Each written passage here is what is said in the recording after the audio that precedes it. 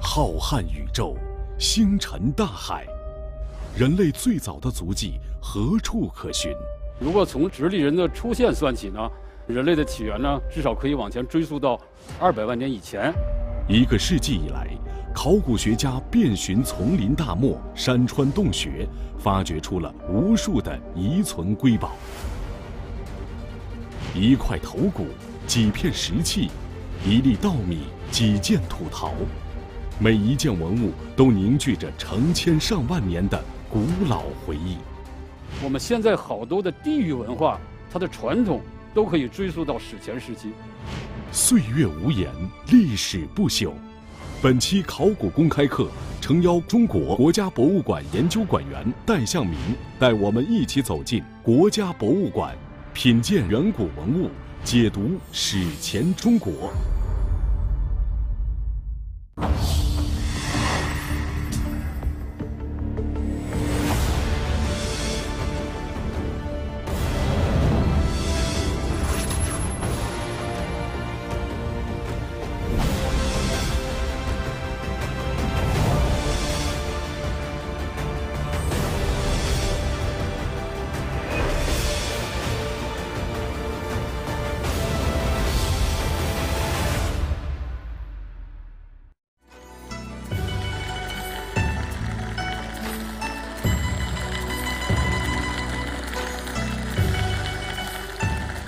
中华文明源远流长，切磋琢磨，考古论今。各位观众，大家好！您现在收看的是大型考古历史文化类节目《考古公开课》，我是陈志峰。今天来到现场的有我们节目组面向社会招募的六位热爱考古的学员，欢迎大家。我们今天的节目啊，要从博物馆讲起。啊，我不知大家都去没去过国家博物馆？谁去过？举一下手。都去过哦，太好了。在这个咱们中国国家博物馆呐，我有一个著名的展览叫《古代中国》，这是一个全面介绍我国古代历史文化的一个文物展。可以说，这个展览是观众了解中国古代史的入门的捷径。我们考古公开课也将用一个系列，从文物的角度带领大家去认识考古，认识我们的古代中国。现在我想问的问题是啊，各位学员，如果让你来办一个古代中国的展览，第一件文物。你会选什么？让我来选的话，我会选择呃中国古人类的第一件打制石器。那么我们一起来看一看国博的专家们他们选择了哪一件？我们一起来看大屏幕。这是两颗人类的牙齿。啊，为什么要把两颗人类的牙齿作为第一件展品呢？如果学习考古，可能大家就知道，考古其实最关心的就是我们从哪里来，也就是人类的起源问题。那么，接下来请我们的工作人员把道具拿上来。大家看啊，这个这几张图片，这都是生活在我们中国大地上的古人类：北京人、蓝田人、山顶洞人、元谋人。我想请我们的一位学员上来，按照年代，你给来排个序。嗯，小郭，你来。好，我们来看看小郭啊，怎么给我们这个古人类进行排序。你先想一想。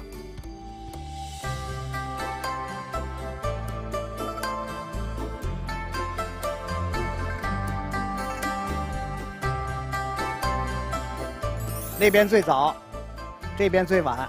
好，我们一起听我们的主讲老师来怎么给一个评判，好吗？现在让我们请上今天的主讲嘉宾——中国国家博物馆的戴向明研究馆员。我们请戴老师上场。欢迎戴老师，好，欢迎欢迎欢迎您，欢迎您。观众朋友们，大家好。戴老师，您先给我们点评一下，你看我们这个学员他这个排序对不对？呃，应该说还是有问题的，呃，有问题不完全对。啊，不完全对 对。戴老师，您帮我们调整一下好吗？好的，啊我我们调整一下我我来调一下。呃，应该是这个这两个换一下，哦蓝天人比北京人要早一点。哦，啊可能 这个小姑娘对北京猿人呃印象比较深，所以把她提前了，是吧？对，她的正确顺序应该就是元谋人、蓝天人、北京人、山顶洞人嗯嗯啊，这样一个顺序。为什么要这么排啊？因为这个涉及到人类的起源和进化问题。嗯根据这个古人类学的研究嗯，呃，从远古的类人猿到智人的出现，或者说通常所说的现代人的形成，经过了一个非常漫长的复杂的过程。啊，如果从这个直立人的出现算起呢，那么人类的起源呢，至少可以往前追溯到二百万年以前。在我们国家发现的古人类化石当中，最早的就是我们这个排在第一位的这个元谋人了。经过测年呢，它的年代大概是距今一百七十万年。哎，接下来呢就是这个蓝田人，大概有一百一十万年以前。嗯嗯，再往下呢，就是我们非常熟悉的北京人。对啊，北京人这个化石发现这个地点呢，它的文化层啊堆积相当厚，延续时间非常长，哦，从距今大概五十万年，一直到二十万年前。这么漫长啊！那么到二十万年以前呢，出现了智人。嗯那我们刚才提到的山顶洞人呢，实际上已经是晚期智人了，嗯啊，属于哦旧石器的晚期了，距今大概两三万年左右。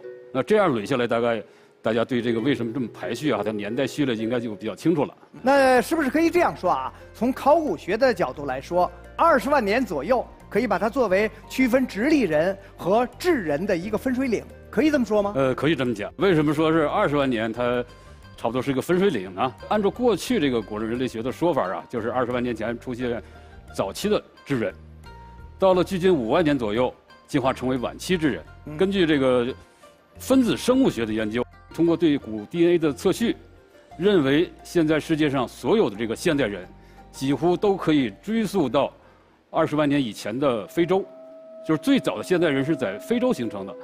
然后呢，在大约十几万年前开始向外迁徙扩散，大概到距今五万年左右呢，到达了我们这个东亚地区。经过了这样一个过程，这个具体的时间点往往有不同的说法。呃大的大的来说就是这样大的一个过程对对对。哦，这个啊这个很有意思。对，还有另外一个观点，就是有些科学家提出，人类的起源呢，它实际上是应该是多地连续进化附带杂交说。这个观点的意思呢，就是说，嗯呃，我们现在的世界上各地的这个现代人，主要是从当地的这个直立人连续进化而来的。当然，这个期间呢，附带着跟其他这个迁徙过的一些古人类有过一些基因交流，其他古人一些基因可能会进入这个当地这个演化序列里边啊，但是占的比例很小，啊，主要是从当地的直立人连续进化过来的。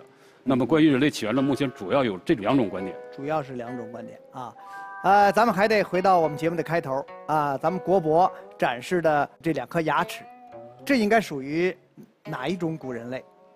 这个是元谋人的，元谋人啊就第一个。啊，第一个，对对对哦对最呃早的，最早的。在咱们中国大地上的古人类的牙齿，对对对对对，所以大家走进国博展厅的时候，就是我们这个古代中国这个呃远古时期这个展厅，第一个看到的人类化石标本就是元谋人的这两个牙齿。哦，啊，年代非常的早。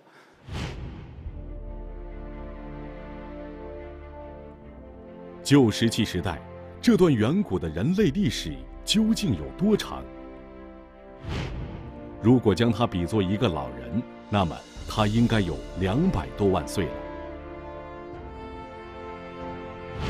从距今两百万年开始，一直延续到距今一万年左右，这个漫长的时期，我们就叫它旧石器时代。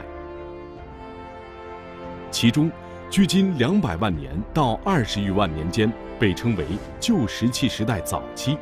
生活在这一时期的人，通常被称为直立人。中国是人类进化的重要地区之一，有着丰富的古人类化石遗存。我国境内发现最早的直立人，就是距今约一百七十万年的元谋人。稍晚的直立人还有蓝田人、北京人、云县人、和县人、汤山人等。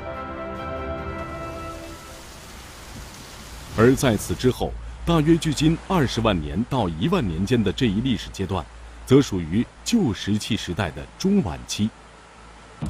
生活在这一时期的人，通常被称为智人。智人意为智慧的人，他们可是制造工具、狩猎采集的能手。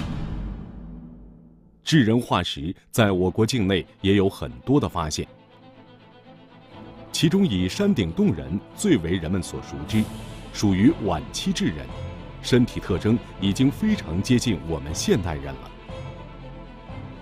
旧石器时代漫长而遥远，早期人类生活的印记已几乎无处可寻，只有考古出土的一件件珍贵的文物，静静地躺在博物馆的展柜中，等待着后人的品读。然而遗憾的是，如今有很多人面对那一件件形态各异的打制石器和其他原始工具时，却时常感到一头雾水。它们都是干什么用的？有什么样的价值和意义？我们究竟该如何读懂这些文物的心事，听懂他们的故事呢？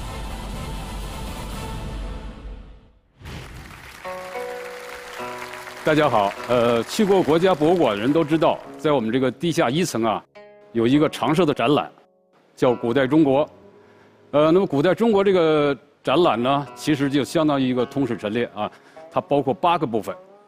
呃，第一就是远古时期，然后是夏商周时期，接下来是春秋战国时期、秦汉时期、三国两晋南北朝时期，这个隋唐五代时期，辽宋夏金元时期。明清时期这八大部分啊，按照历史的这个顺序，这样陈列下来的。我在国家博物馆工作很多年了啊，这个经常有机会到展厅去转一转看一看。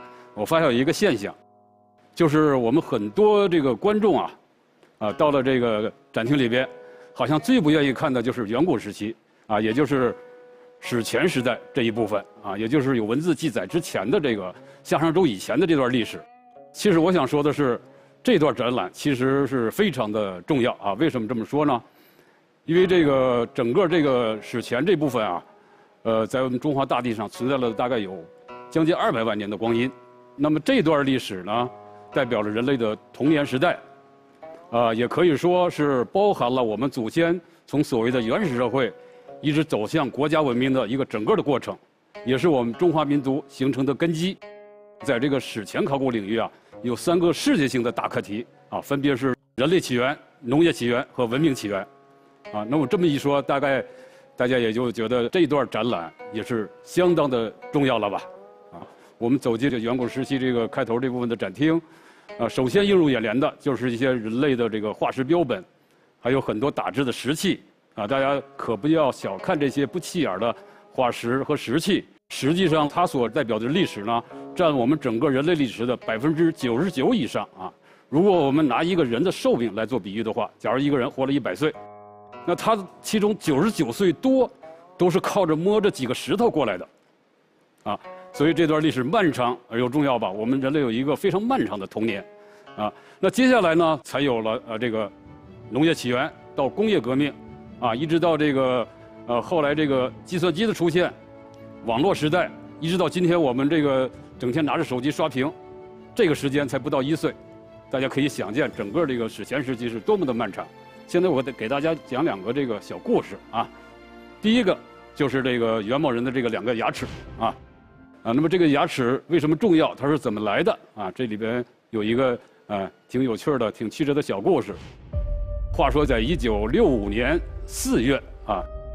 呃，当时是为了配合成昆铁路的建设啊，中国地质科学院呀，就派出了以钱方等人，呃，组成的野外工作队，远赴云南的这个元谋盆地进行野外勘探。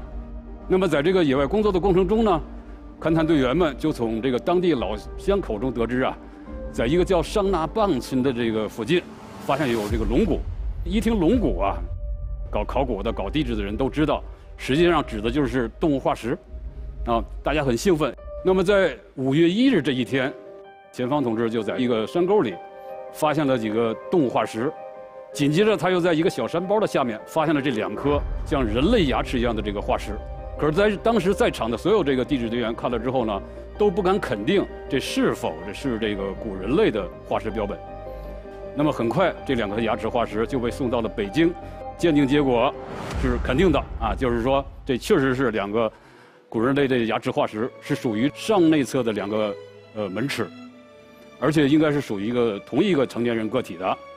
当时还是非常的稀有了。很快，科学家们利用古地磁法，对这个牙齿啊所出土的这个地层进行了年代测定，测定的结果呢是距今一百七十万年左右，啊，大家就非常的兴奋了，因为这个。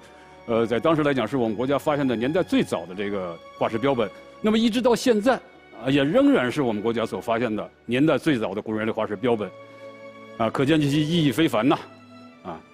那么第二个故事讲的就是著名的北京人头盖骨，在国家博物馆远古时期展厅里，紧挨着这个，呃，就刚才我们看到这个两个元谋人牙齿化石的，就是这个北京人头盖骨化石的复制品。为什么是放的复制品？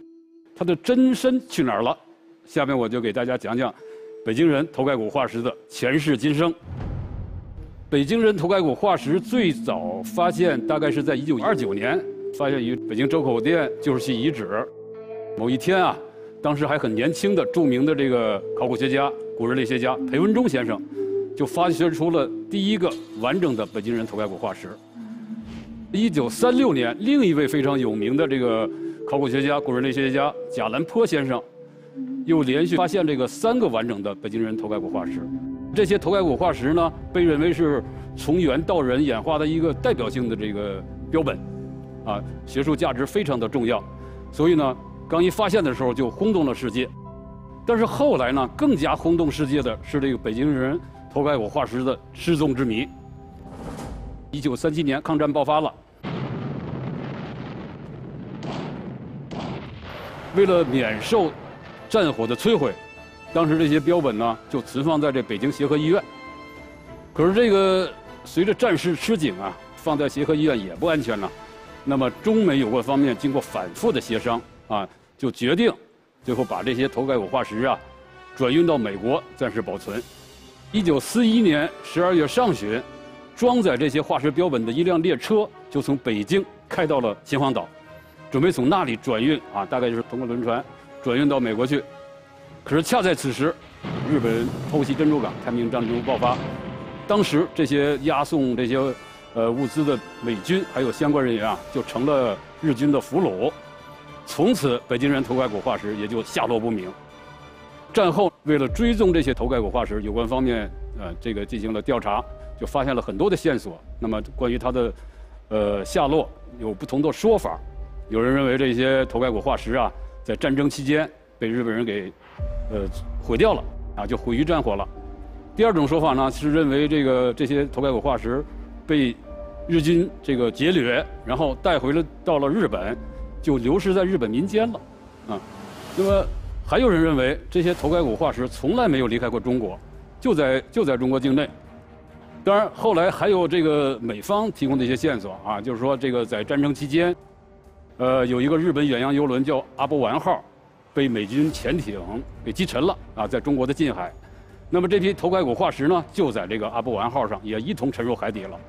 根据这些提供的线索呢，有关方面都做了一些调查寻找，就所有费尽这个心力的寻找，最终都没有结果。但是呢，希望仍然一直是存在的啊，因为毕竟没有明确的这个证据说它被摧毁了。北京人头盖骨化石啊，它这个身世，它的失踪，一直到现在仍然是科学史上一个非常重大的悬案啊，也是一大憾事啊。那么讲完这个化石标本，大家走进这个远古时期的展厅啊，哎，一看这个展柜里哈，呃，除了这个化石，还有好多的打制的石器。如果你要具备一些文物考古知识。啊，了解这些石器它的功能用途，那你会发现它是实际上是非常有意思的。考古学家根据这些石器所出土的背景，啊，啊，还有这个加工制作石器的场所以及它们之间的这个组合关系，可以推断出古人的行为方式来。这就像警察破案，是吧？比如说有一个人被打晕在地，倒在那儿了，哎，警察就可以根据这个受害人他倒地的方向来推断出凶手啊攻击的方向。啊，也还可以从这个受害者身上的创口来判断出凶手所使用的凶器是什么，是吧？所以这个我们考古这个研究呢，就非常类似于这个警察办案，啊，它讲究一种这个根据支离破碎的线索，进行这个有序的逻辑推导，然后推导出一个呃让人信服的结论来。当然，考古上应该说经常有更大的难度啊，比如画面上显示的，我们看到，哎，刮削器可以切割动物的肢体啊，食肉嘛。然后呢，还可以刮削动物的皮毛来加工皮毛，呃，制作衣服。还有这个这边这个尖状器，这种大型的石器，啊，可以作为这个狩猎用的武器，啊，也可以是砍伐树木的工具，还可以用它们敲骨吸髓。还有这种石针啊，这个石锤，它实际上可以是就是用来加工这个坚果，也可以用来加工石器。所以很多石器呀，它制制成特定的形状，都有它特定的用途。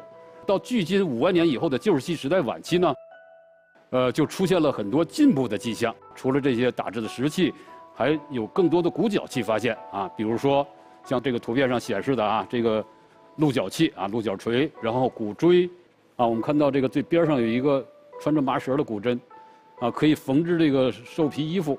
像这个有带有倒钩的这个骨鱼标，啊，那它用来插鱼，是吧？捕鱼。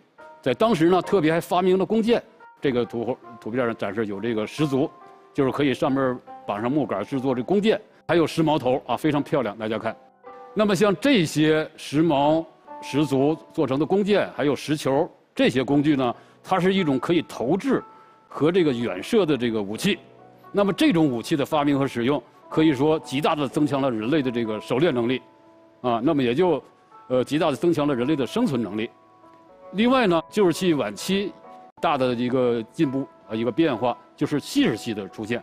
那我们看到上面这一排呢，有些细石盒，就是从石盒上啊来剥取细石叶；下面这一排呢，就是剥下来的这个细石叶。那么底下这个细石叶呢，它实际上是被放大了，大概都不足一厘米宽，非常的薄，但是呢有好几厘米长，有的大家想象不到的，这些细石叶啊，经常是从这个细石盒上用这个木器。通过压切法给压切出来的，那么这些细石叶呢，可以做复合工具，就是可以把它们镶嵌在这个动物骨头上，做成骨梗刀。那么这种骨梗刀呢，用这种细石叶做刃部，非常的锋利，啊，它也很小巧，便于携带，所以这个也是当时技术上的一大进步。除了这些技术上的进步，那么这个在旧石器时代的晚期呢？呃，可以说古人的精神世界也越来越丰富。比如说啊，这个哎，像这个屏幕上显示这个项链像这一串就是有这个骨管和这个贝壳啊，可以穿起来做成项链另外还有呢，这个有的是用动物的牙齿穿起来做的项链这些项链呢，其实拿我们现在眼光来看啊，很粗糙，是吧？但是我们想一想，如果把它们放在这个一两万年前的旧石器时代来看的话，那就很了不起了。就是当时人类就知道美了啊，用它来装饰了。那我们还可以追问，这些都是用什么动物骨头做的？在当时没有金属工具的情况下，又是怎么给这些骨头还有动物的牙齿进行钻孔穿眼的呢？做好之后，这些小物件又是怎么串联起来？用什么穿起来的？是不是有麻绳啊？那么这麻又是怎么来的？所以它背后可以呈现出一系列的这个考古的思维，有很多的这个东西可以研究。那你有了这些常识，你再看博物馆陈列的这些文物，那就不一样了啊！在你面前，这些文物就活起来了，是吧？我知道这件石器它叫什么，而且知道它是干什么用的。那么以上呢，就是这个我们国博展厅里的文物所呈现给大家的，呃，一万多年以前旧石器时代人类生活的一个图景。好，谢谢大家。好，谢谢戴老师为我们精彩的讲述。呃，刚才您的这一番梳理，呃，说实话，我们就清晰了很多。啊，以前我们去博物馆也好，去看什么展览也好，就是两眼摸黑，啊，就是看个热闹 啊，真不知道是怎么回事但是这以后我们再去博物馆，你比如刚才讲到了弓箭也好，啊，鱼标也好，骨器也好，那个项链啊，再看到这些的时候，我们就起码知道这是距今五万年以后的。是旧石器时代晚期的，您记性很好，说的非常对。哦，太好了，太好，说明有收获啊！我想大家也一定有收获。我们的学员们，他们都是热爱考古的，有的甚至是学考古的，他们也有自己的奇思妙想。利用这个机会很难得，跟戴老师做一个交流。戴老师您好，您刚才讲到的那些石器知识真的是令人大开眼界，但我同时也有一个疑问，就是其中有一部分的石器，它和我们在自然界中，比如在河谷小溪旁边看到的石头是比较接近的。那么我们应该怎样区分它是人类有意打制的，还是自然掉落，或者是怎样形成的呢？其实这个问题很有代表性，哎，对对对，很多普通的观众也是有这个疑问。啊，确实是，就是对一般观众来说，呃，没有专门接触过旧石器的，他确实有时候很难分辨，是，是吧？看着那个打制的石器，跟那个自然界那些自然力形成的石块，嗯。好像看着也没什么差别嘛。嗯，啊，但是对这个专业的考古人员来讲啊，这应该不是个难事儿，啊，因为这个我们知道，石器的打制啊，它有一种比较固定的方法，嗯。主要有这么三种方法啊，嗯。一个是碰针法，就是拿出一个石料，在一个大石块上用碰碰砸来敲打，就是碰砸出一个形状来；还有一个叫锤击法，就是说，比如说我要做石器了，我这个时候拿个石锤，然后我敲击这个石料，我打出一个形状来，啊，这就叫锤击法。啊，还有一种啊，还有一种砸击法，啊，就是说地上有一块石针，就是一个垫石啊，啊垫在地上固定的嗯。石针，然后呢，我把这石料放在上面啊，我比如说这手我把它扶住，我这手拿个石锤嗯，我去在石身上砸击这个石料，我把它敲打出一个形状来。要哪儿不要哪儿，哎，对，是吧？就是我想，比如说我我要一个肩窗，也有砍砸器，啊我挂销器什么的，我就反复的敲打，然后到尤其到这个刃部那个，它会留下一些有规律的痕迹，啊，在这个石石石器的上面。这句话很重要啊，有规律的痕迹。哎，对，嗯凭着这些有规律的痕迹，那么这个训练有素的考古专家呢，就比较容易的就能辨认出，啊，它是不是石器来。嗯嗯啊随着历史的车轮，我们该到了新石器时代的展厅了。啊，大家如果去过的话，啊，一定都知道啊，在这个展厅啊，有各种各样的文化，有各种各样的陶器，啊，我想到了这个展厅啊，大家一定觉得现在的词儿就是更烧脑，是不是？在这个展厅的时候，我们能够看到很多比较专业的名词，比如说大汶口文化、仰韶文化这些。但是对于我们这些观众来说，比较难分清楚这些文化。确实是，因为有时候一提到这个文化两个字，啊，大家可能有时候就被吓住，啊，说自己是不是有文化呀，还是没文化呀，是吧？其实这个文化这个概念，这两个字，啊，它是有差别的，在考古上是一个专业术语是专业术语。我给大家首先解释一下什么是考古学文化。嗯，呃，考古学上这个文化呢，它指的是在一定时间、存在一定地域、反复出现的富有特征的这一群遗迹的组合，包括遗迹和遗物啊，这样一群遗遗遗存的组合。我们把这种一种组合叫一个文化。比如说，它有一个陶器群，它有它自己的一套的这种石器，富有特点的石器、骨器这些，啊，然后呢，它有它自己富有特色的这个房屋形制和墓葬形制，这样这样一系列的呃遗存组合在一起，叫一个文化。嗯，那么接下来戴老师准备给大家出一道常识题，来测试一下大家的水平。我们请上道具。一看这幅中国地图，可能有的人会想，从考古怎么又跑到地理上来了？其实拿这地图并不是想考大家地理知识，嗯，我是想给大家把把文脉，把把文脉，哎，试探一下大家的这个考古知识。旁边呢，四种文化。四个文化的名称，名称，那，都是考古学上很有名的一些文化。哎。红山文化、马家窑文化、大汶口文化、仰韶文化。那我想请两个学员上来，把这个几个文化的名称贴到跟它对应的区域上，就是说这些文化都分布在哪些区域，大概其的一个位置。好，那咱们就就请这小姑娘上来好，啊！刚才你来问的这个问题，来，掌声给他点鼓励。小姑娘啊，来，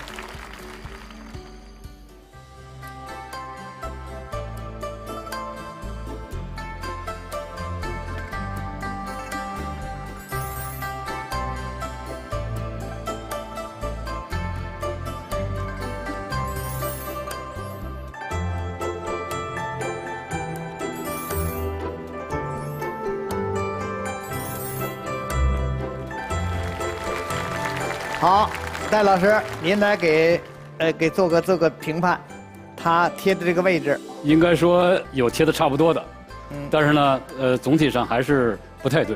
现在呢，给大家来摆一摆啊，应该在啊什么位置哈？啊，来，呃，你比如说红山文化，它嗯主要分布在这个辽宁西部、内蒙东南部和河北的东北部，哎，就大概这么一个位置。这个位置啊哎啊，大门口文化它主要分布在山东地区，黄河下游的山东地区。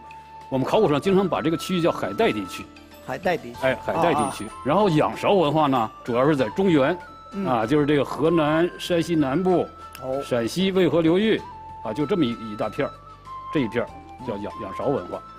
马家窑文化呢是属于西北甘肃青海地区的，啊，就是这个顺着河西到青海东部，然后甘肃东部这一片儿马家窑文化啊，嗯嗯，甚至现在延伸到了这个四川最北边这一片儿，大概就是应该是这么一个方位方位。啊谢谢老师。啊，谢谢您。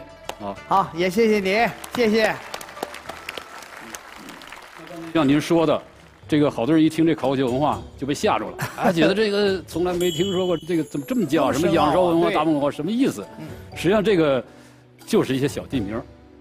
呃，考古学上命名文化经常呃就是拿最早发现的那个小地名来命名嗯嗯嗯，啊，实际上好多就是村庄的名字。比如仰韶比，如仰韶，仰韶文化那个仰韶，就是河南渑池仰韶村的名字。嗯，大门，口哎就是山东泰安大门口那个村子的名字。嗯嗯啊，所以就这么命名下来的，就是一些小地名所以大家以后听到这个，不要有什么这个发怵的感觉。仰韶文化呢，这么很大的一片区域，差不多是整个黄河中游吧。那它存在的年代呢，是从距今七千年到这个距今四千八百年左右，这么一个时间，延续了两千多年。嗯那仰韶文化其实它可以还分成早中晚三大阶段，这就不一一细说了。然后就是山东这个大门口文化嗯，它存在的时间呢是从距今六千年到这个四千三百年左右。然后东北的这红山文化，这个文化存在的时间呢，主要从距今呃七千年到五千年左右，这是红山文化。嗯西北的马家窑文化呢，它实际上是从这个仰韶文化这个母体中分离出去的一个亚文化区。哦，仰韶早期主要是在这个渭河流域啊、中原这一片儿然后，呃，到了中晚期，仰韶文化往西部延伸，最后到仰韶晚期的时候，分离出了一个马家窑文化。哦，马家窑文化延续的时间呢也很长，呃，从这个距今五千三百年左右到这个距今四千年左右这个时间段啊，这就是呃刚才我们涉及到的这几个考古学文化它的地域和年代。啊，另外呢，其实这个呃史前时期有很多大家应该知道的一些文化。我们国博展厅里，其实大家看那些文物啊，呃，集中在几个文化上啊，一个是仰韶文化的文物，然后这个马家窑文化的，呃，大汶口文化和龙山文化的，然后呢还有这个浙江河姆渡文化的。河姆渡文化呢，主要分布在这个呃长江以南，长江钱塘江以南这个宁绍地区，呃热这个区，它的年代呢，呃，大概从这距今七千年到距今五千年左右这个时间段所以呢，大家看到这个就是说不同的区域、不同的时代，都有自己的这个考古学文化。陶器是土与火的奇迹，也是新石器时代最具代表性的器物之一。在新石器时代，陶器因为其取材制作方便又易碎的特点，所以具有非常强的地域特征和时代属性。考古学家们往往通过出土陶器的器型、纹饰等特点，就可以初步判断其使用年代及文化类型。陶器也因此成为新石器时代不同地域及不同考古学文化的证物及缩影。中国是世界上较早发现陶器的地区之一。在新石器时代，中华大地上曾经存在过多种多样的考古学文化，也给后世留下了数不尽的文化瑰宝。它们种类繁多，形态各异，令无数的后人驻足遐想。那么，在当时，它们究竟是做什么用的？我们又该如何辨识这些不同类型的陶器，它们和我们今天的生活又有着怎样的关联呢？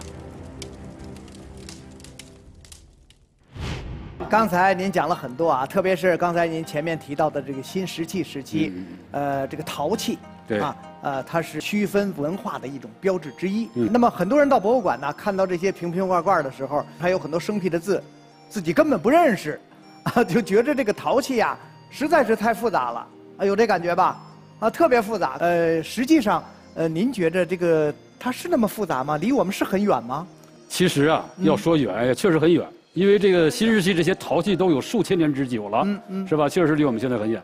但要说近呢，跟我们现在的生活又密切相关，你看，哎，也也很近，因为我们现在这个生活上所用所用的这些日常用具，特别是锅碗瓢盆这些东西，嗯其实它都来源于新石器时代这些文化、这些器物、这些坛坛罐罐，现在咱们家里用的，厨房里用的。哎，都可以在史前找到它的原型。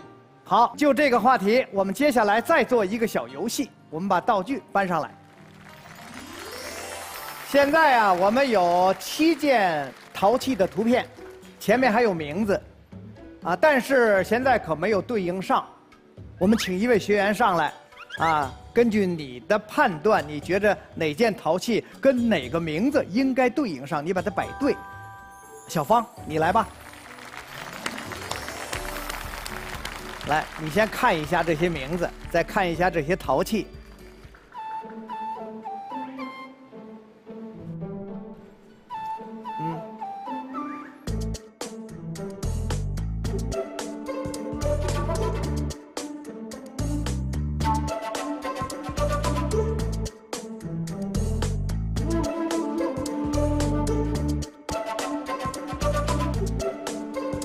完了是吧？好，请戴老师来给你做一个评判，看看他摆的到底对不对。好，我看一下啊，嗯，哎呀，还真不错，有些是对的啊，但是也有错的。错的 比如说龟，这件是龟，哦，这件是龟呀、对，这个就是三个，其实三个空足，上面这个长得像一像一只鸡，鸡仪，所以过去它有个名称叫鸡仪。哦，这个龟啊，应该是在这个这个位置。嗯嗯嗯。那这个是曾曾就是带眼儿这个器物哈啊，哎，在那头，他们俩兑换一下。挪过来哎，好。看哦一，下，哎，这这应该就就对了，是吧？最头那个是眼，然后这是曾，府是对的，鼎也是对的，嗯立也是对的，斗对，这样就对了。成绩还不错呀。还，不错，他这个呃大部分都摆对了。继续努力，好，谢谢你，谢谢。那您能不能给我们大概说说这些陶器？其实这也没什么神秘的哈，其实这些都是古人所用的这些日常生活的这个吹气啊，相当于我们现在锅碗瓢盆这些用具比如说都是干什么？第一哎个，我觉得应该是喝酒的啊。对，您说的太对了是。吧？龟是应该是这个盛酒器吧，应该是就倒酒、盛酒、倒酒的。龟呢，它特点就是，哎，大家看到它实际上是三个空袋足，上面呢有一个细细的脖子，脖上有一个长长的瘤，我们口语上叫瘤，嗯然后这边一个把手。这釜是干什么用的呀？这是釜什么叫釜呢？釜就是环底儿的一个罐子，哦，就是哎，，它底部是这个圆的，然后这里边呢放上米呀，放上什么？放上水，放上米煮来粥啊对，煮煮饭煮粥，对对对，哦，底下点火，点火，哎哦，就是这么使用。釜是应该最早出现的吹器，嗯啊，就比鼎啊、立啊出现要早。这有点像咱们现在家里的那个，就是锅嘛，哎，对对对对对对，你看到现在其实没有根本的变化，都是这种环底锅。嗯嗯，这个鼎好像见得多一点儿。对，陶鼎也是呃出现的非常早，它是三个石足，啊，它后边还有一个就是三三足鼎立嘛，哦它自带三条腿儿，它下边可以直接放柴火，点火做饭哎，对，啊，也可以把它放到火塘上，直接来来来煮饭。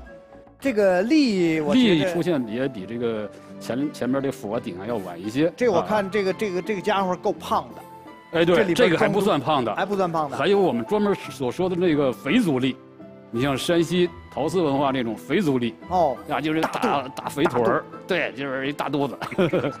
立跟鼎的区别，立是空足，三个空带足，哦，底下直接可以点火，也可以点火。像这个图片展示的哈，哎，好像就有烧的痕迹，烟胎啊，这个烟熏火燎的痕迹。啊，这个豆我觉得很有意思啊，它就像那个豆那个字儿，你看，哎，您说对了，其实古文字的起源好多就是就是象形嘛，嗯，就根据器物本身的形状这个豆啊，啊我们我们这先展示这件，它是一个粗饼豆，是吧？顶部比较粗，啊，还有很多细饼豆。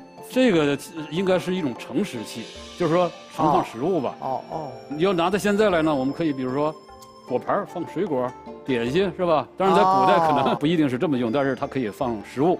接下来是叫增，就是上面这件器物啊，这这底下这个罐子了，啊上面这是一个底部带眼儿的这个一个盆，实际上就是一个小盆儿。啊，叫增，其实它就是一个盆儿嘛。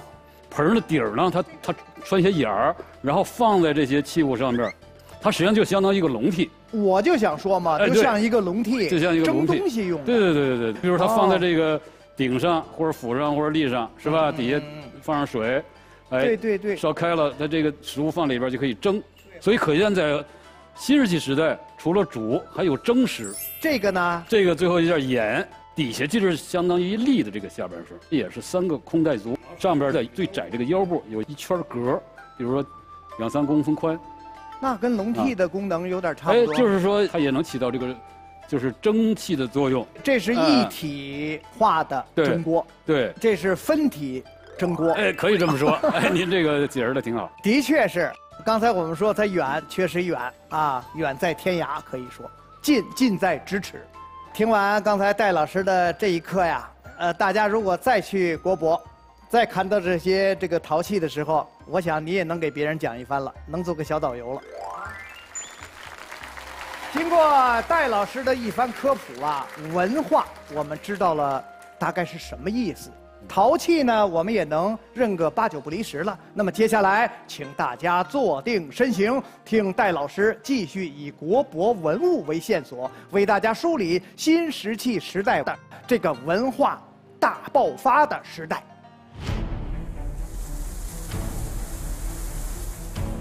距今一万年左右，人类进入新石器时代，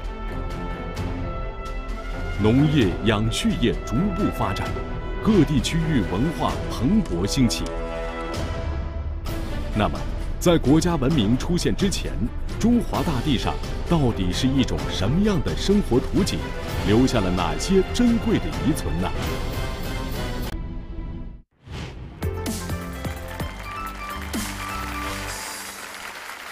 那么我们都知道啊，这个继旧石器时代之后是新石器时代。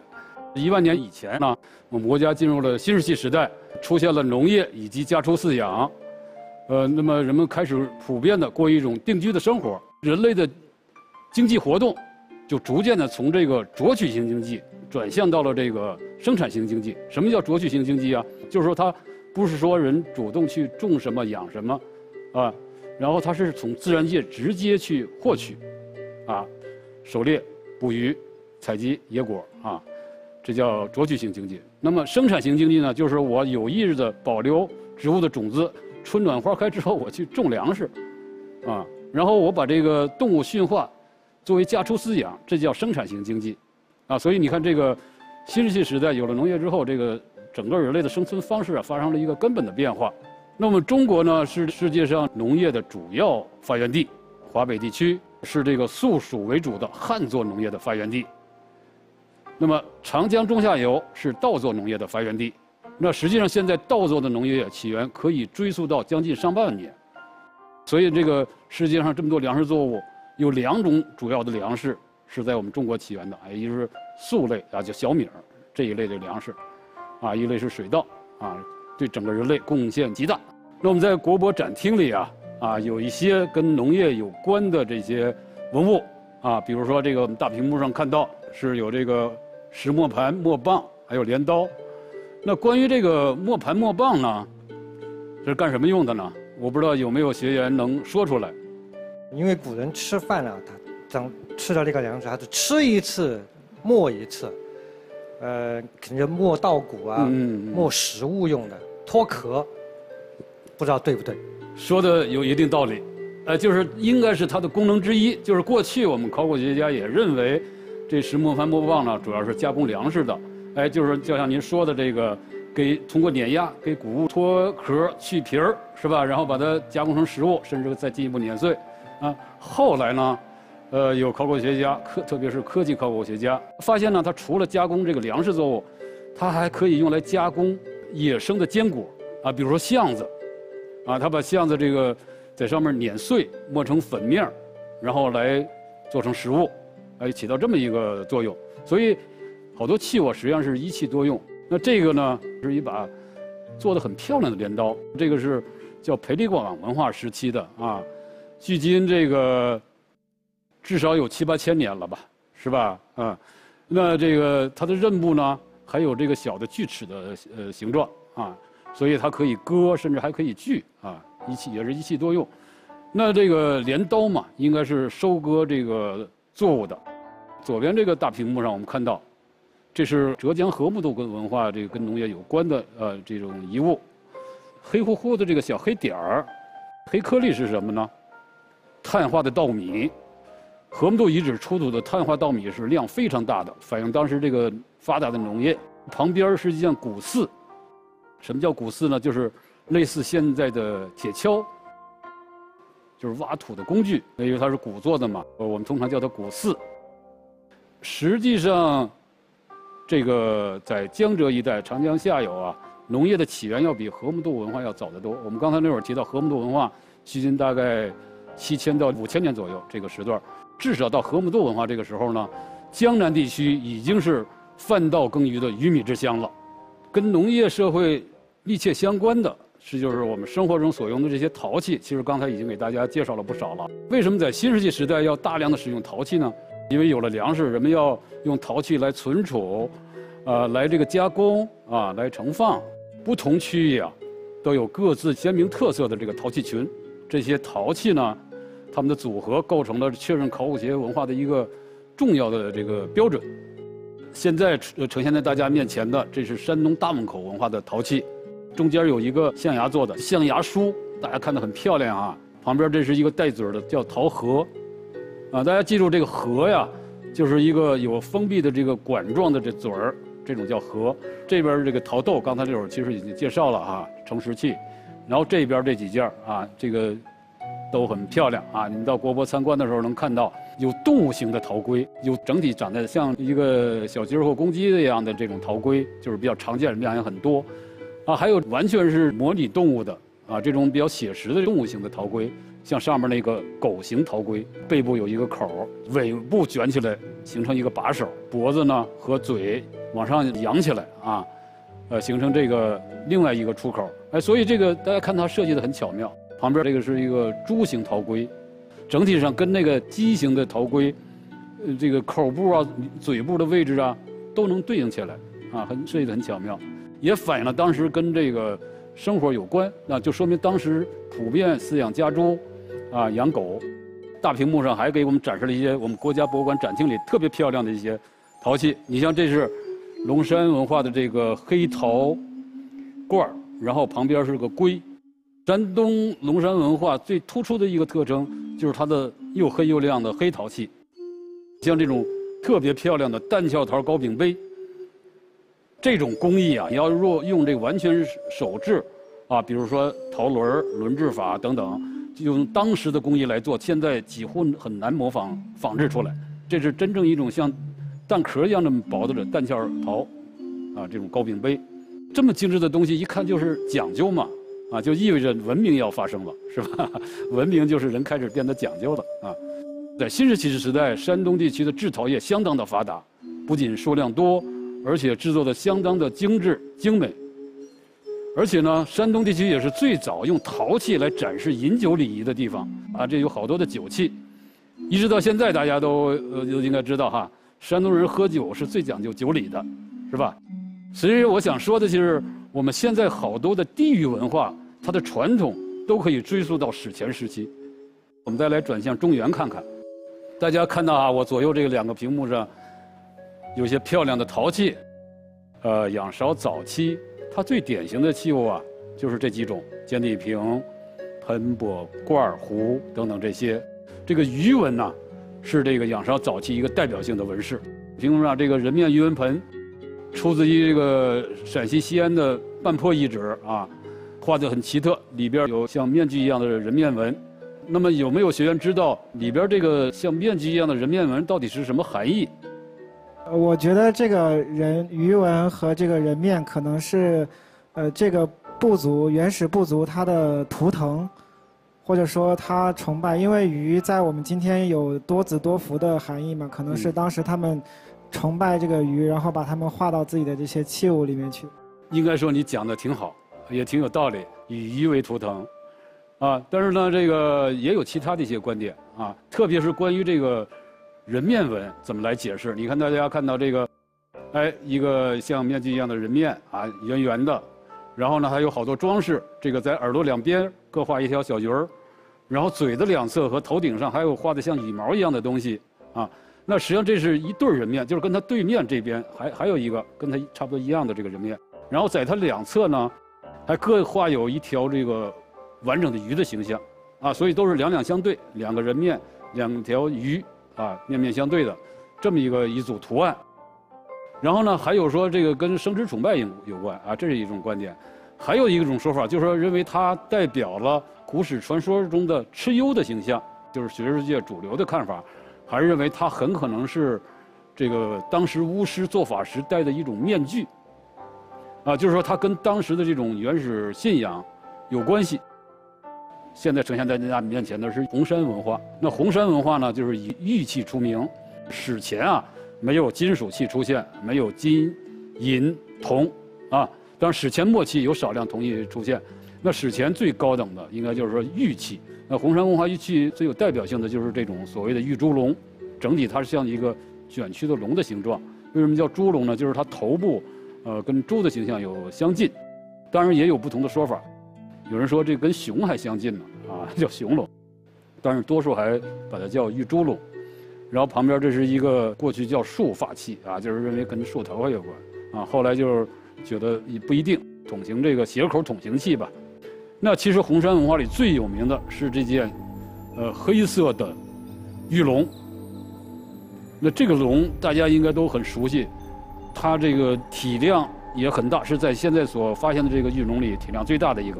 长长的嘴头，背部有裂鬃，然后身子卷曲，呈成一个 C 型，所以有称之为 C 型龙。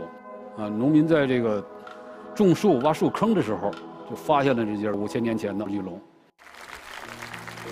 在我们国博展厅里啊，有这一个仰韶早期村落的一个复原模型，啊，也挺大的一个沙盘啊，在这个展柜里边，大家可以看到，这有一些复原的这个茅草屋啊，这些房子那这实际上是来自于陕西临潼的姜寨遗址。